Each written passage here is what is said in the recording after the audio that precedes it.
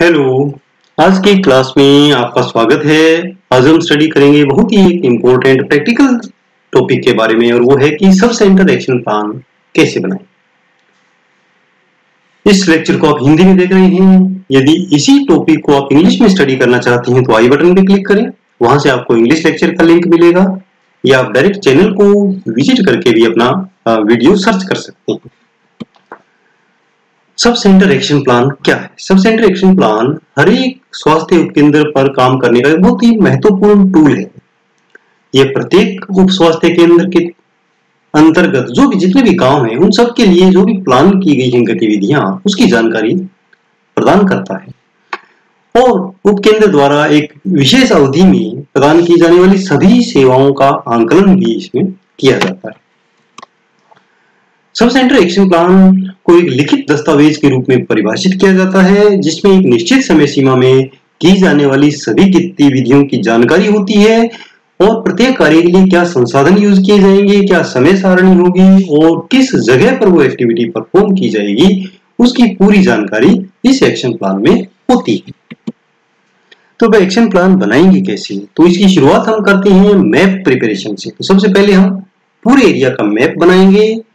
हर गाँव का मैप बनाएँगे, जो हमारे सब सेंटर के अंतर्गत आते हैं। और उसमें प्रत्येक जो अप्रोच रोड है, जो मेन रोड है, और गाँव के जो इंपॉर्टेंट प्लेसेस हैं, चाहे वो गवर्नमेंट ऑफ़िस हो स्कूल्स हो, कोई सामुदायिक भवन हो, उन सबको पूजा स्थल हो कोई मंदिर, मस्जिद चर्च गुरुद्वारा, उनको हम उसमें शो करते हैं, ताकि पता रहे कि हमें किस प्रकार वो सड़कें जा रही हैं और कितना एरिया हमारा कवर उसमें हो रहा है। उसके बाद आता है सर्वे सर्वे करेंगे हम, हर एक विलेज का सेपरेट और डाटा कलेक्ट करेंगे। उसी डाटा के बेस पे हम हमारा प्लान बनाएँगे इसके अलावा हम मीटिंग्स भी कंडक्ट करते हैं। मीटिंग्स स्टाफ के बीच में जो हेल्थ टीम है, उसकी मीटिंग कंडक्ट कर सकते हैं। कम्युनिटी के जो इन्फ्लुएंसर्स हैं, जो नेता हैं, जो कम्युनिटी में अपना प्रभाव रखते हैं, उनके साथ हम मुलाकात कर सकते हैं, पंचायत, सरपंच, उनके साथ। और जो स्पेशल ग्रुप्स हैं, महिला मंडल से हैं, उनके और आशा आंगनबाड़ी हैं, उनके साथ हम मीटिंग करते हैं और उनका सजेशंस लेते हैं हमारे इस प्लान के बारे में इस प्रकार का प्लान जो बना रहे हैं तो आपका क्या सजेशन उसमें रहेगा। इसके अलावा हाई रिस्क ग्रुप की आइडेंटिफिकेशन की जाती है। उस जोखिम का जो भी समूह है तो उससे क्या है कि जो भी हम सेवाएँ प्रदान करेंगे, उनकी प्राथमिकता तय करने में हमें हेल्प मिलेगी। और प्राथमिकता तय करना बहुत ज़रूरी है। कैसे करते हैं?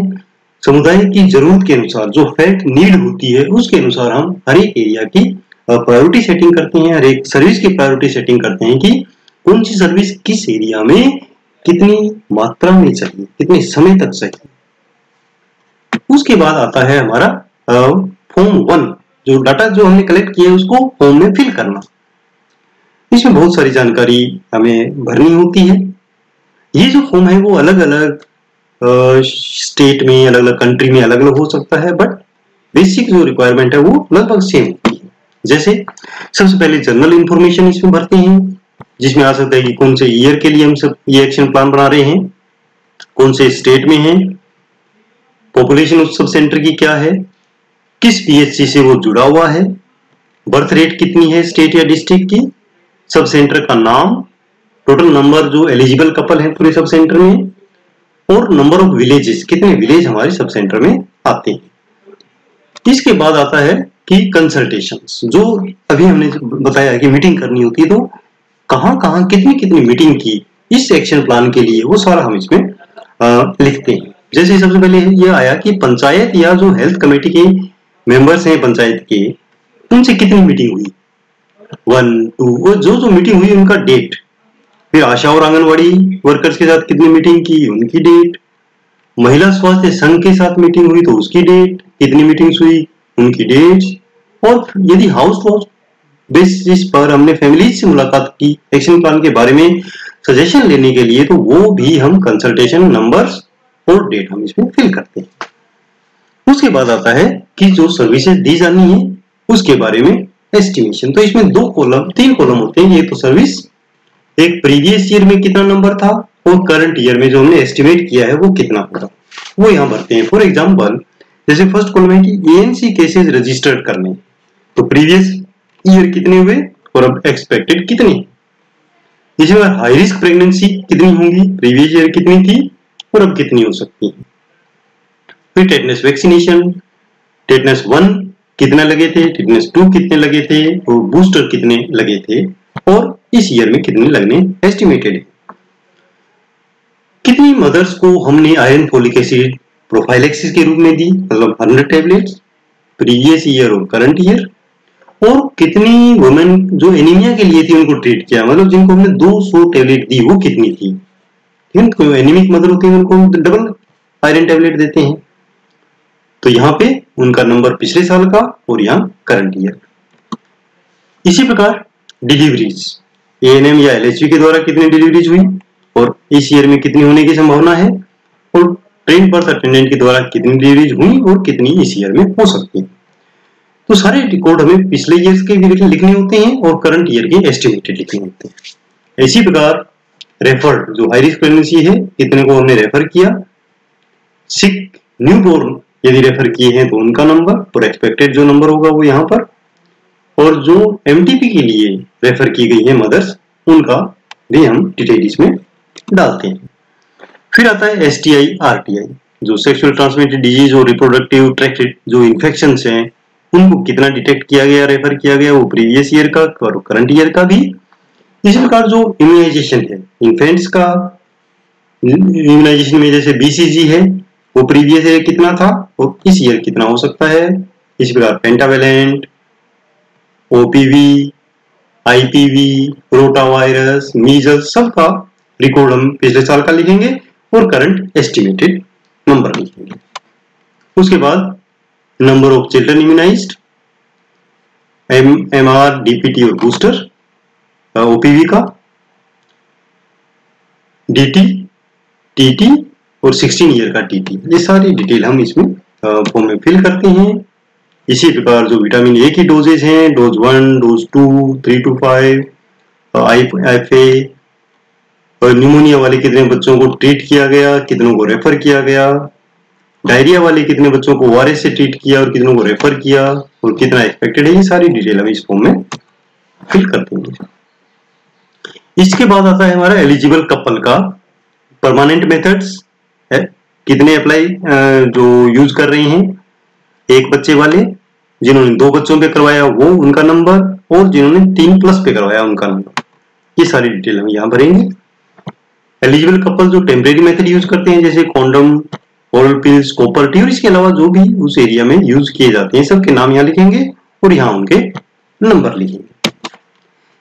अब आता है कि जो एस्टिमेशन करते हैं, उसके क्या सिस्टम होते हैं? तो इसके लिए कुछ फॉर्मूलाज होते हैं। फॉर एग्जांपल यदि हमें हमारे सब सेंटर की टोटल एक्सपेक्टेड प्रेगनेंसी निकालनी है। तो उसके लिए फॉर्मूला है कि जो हमने सर्वे किया तो टोटल पॉपुलेशन कितना है और हमारे एरिया का बर्थ रेट कितना है उसको हम मल्टीप्लाई करेंगे और डिवाइड कर देंगे वर्क थाउज़ेंड से। तो हमारे पास नंबर ऑफ़ प्रेगनेंसी आ जाएँगी। फॉर एग्ज़ाम्पल यहाँ पर यदि हमारे पास पॉपुलेशन हमारे सब सेंटर की पाँच हज़ार है और बर्थ रेट हमारे एरिया का तीस है तो इस फॉर्मूला से हम इसको करेंगे, पाँच हज़ार को तीस से मल्टीप्लाई करेंगे और डिवाइड करेंगे एक हज़ार से तो डेढ़ सौ जो प्रेगनेंसी है, वो आ जाएगी अब आता है कि एंटीनेटल रजिस्ट्रेशन कितना होगा? तो एंटीनेटल रजिस्ट्रेशन में हम नॉर्मली जो हमने अभी एक्सपेक्टेड प्रेगनेंसीज निकाली हैं, उसमें वेस्टेज फैक्टर भी डालते हैं। वेस्टेज फैक्टर मतलब कि कोई एबोर्शन हो गया, कोई प्रेगनेंसी हुई नहीं तो वो नॉर्मली आता है टेन परसेंट प्रेगनेंसी का। तो प्रेगनेंसी हमारे पास एक्सपेक्टेड है 150 उसका 10 परसेंट निकालेंगे तो 15 हो जाएगा।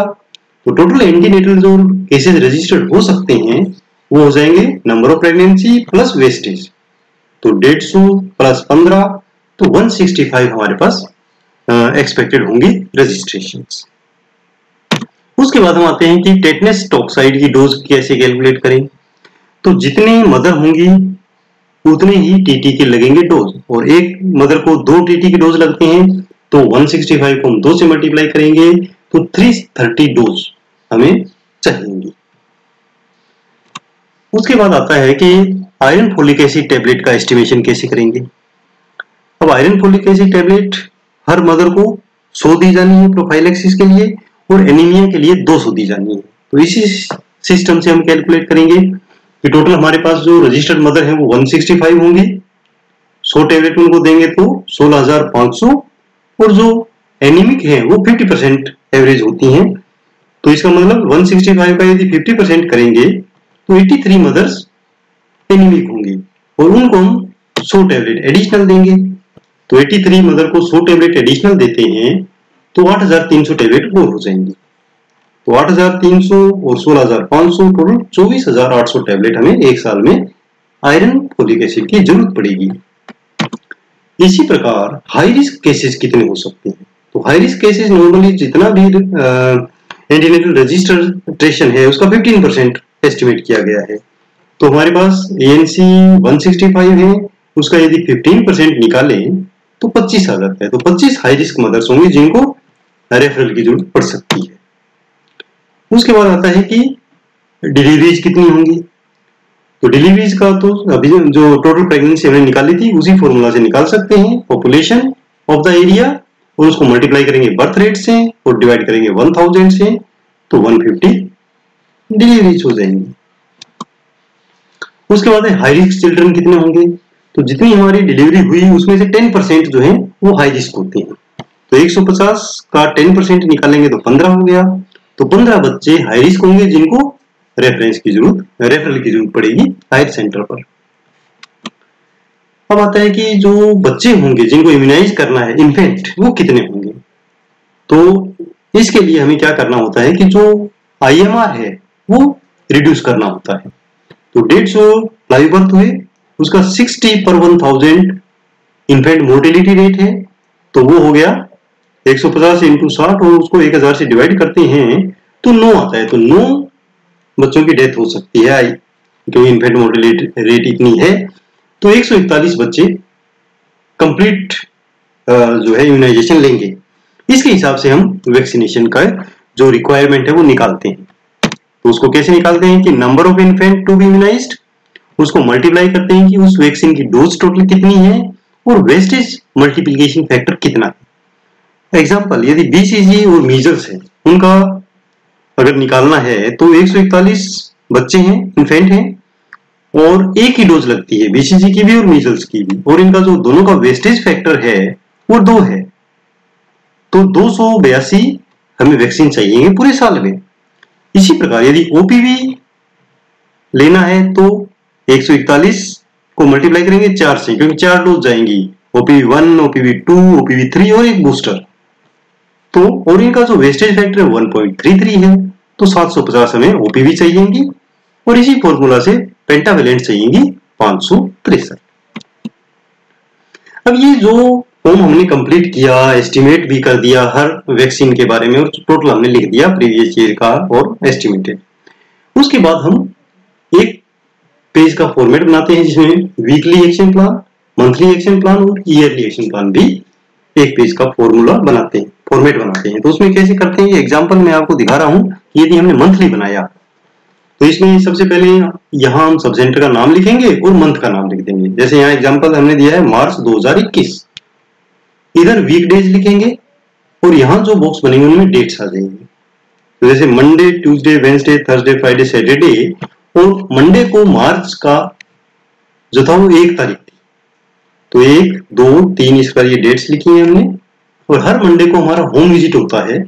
तो यहाँ हम लिख देंगे जैसे विलेज वन का ए का होम विज़िट यहाँ एक तारीख को हुआ। आठ तारीख को विलेज बी का हो जाएगा, पंद्रह को विलेज सी का, फिर डी का ई e का। हर ट्यूसडे को एएनसी क्लिनिक है सब सेंटर पर तो ये हमने एएनसी क्लिनिक यहाँ डाल दिया। वेंसडे को यदि इम्यूनाइजेशन है तो इम्यूनाइजेशन डाल दिया। ठीक है, ये भी सब सेंटर पे करवा दिया।